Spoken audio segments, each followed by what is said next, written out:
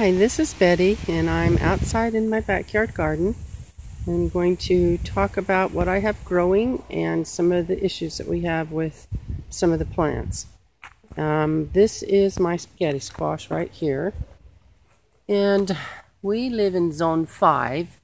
We also last year and the year before had a large infestation of squash bugs in our state especially in our area. And so I have found several this year already. What I do is I come out here um, in the mornings and I check my plants, my, my squash plants, and make sure that there are no squash bugs hiding. Sometimes I have to water first and they'll, they'll come out from where they're hiding. I usually find them under the vines down near the roots. And I also check each leaf. I check the backs of the leaves because this is where they lay their eggs. And this morning already I did find one batch of eggs and um, I ripped it off the leaf.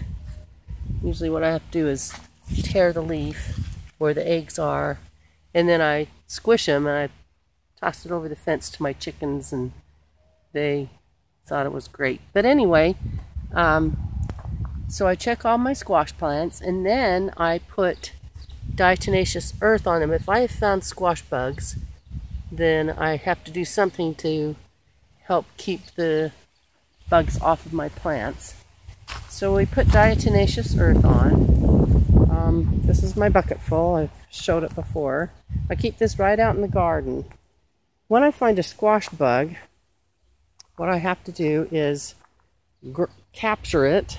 I usually get it, coax it into a cup, and I, um, well, I have to step on them and smash them, and becomes quite a chore when I find several. Yesterday I found two, so I wasn't very happy about the bugs. I've found about 16 so far this year, so I know it's going to be a bad year for squash bugs again. This is a I think this is my crookneck squash. Last night we got the trellises put up and today I'm going to be tying up my cucumbers. And I use nylon, old nylons that I cut up. You can see here on these plants the black nylon that I've used. Nylon is very soft and stretchy and it's very gentle on the plants.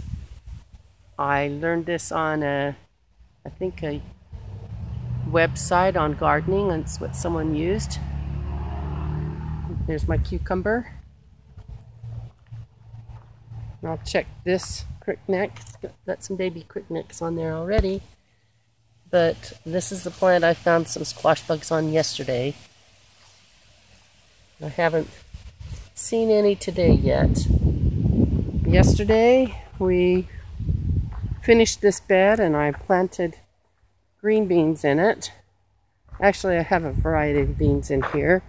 I've got green beans, um, purple beans, which when you cook them, they turn green, and yellow beans. Some are yellow beans and some are just um, yellow wax beans. I don't know if there's really a difference, but anyway, I soaked them before I planted them. This is another tip that I had from my friend Nancy is that she soaks her bean seeds the night before and then she'll plant them the next day and they come up much quicker. So I'm kind of anxious to see how this will do.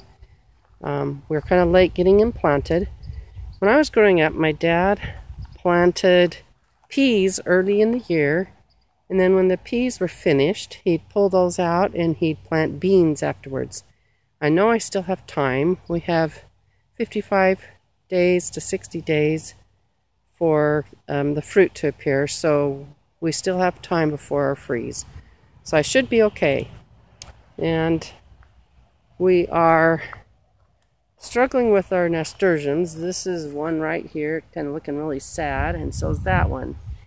Um, we found out they started looking sad when I planted them in the garden beds. In the garden beds, we have uh, fertilizers like um, manure And apparently, they don't like healthy soil.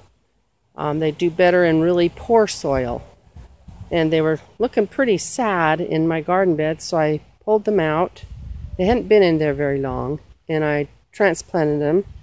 And they still aren't doing very well. I don't know if they'll snap out of it, but that's what they're looking like. Just kind of sad things here. So I don't know what the issue is. If it was really the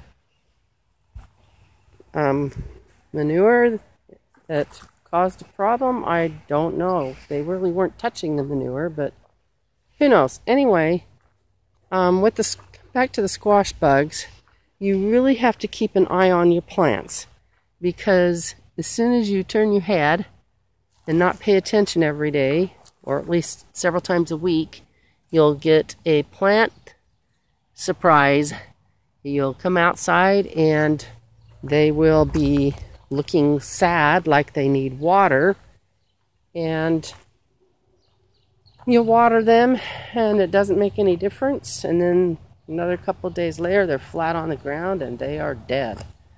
So that's what the squash bug does. I think they must attack the stems or the roots I really don't know. I don't see any on here today. Um, check the leaves. just check the back of the leaves. When I put the diatomaceous earth on, I cover the vines where they crawl and just a little bit around the dirt. And then I try to get some on the backs of the leaves because this is where they lay the eggs. Um, the other thing that I have problems with in my garden is we had a rainstorm a couple of days ago. Everywhere I water, there are weeds. And you can see I've had these flowers growing for quite a while. They're one of the first ones I planted. And look at all these weeds coming up. So I've got a chore in trying to figure out how to control the weeds in my pathways. Uh, my friend Nancy puts down pea gravel.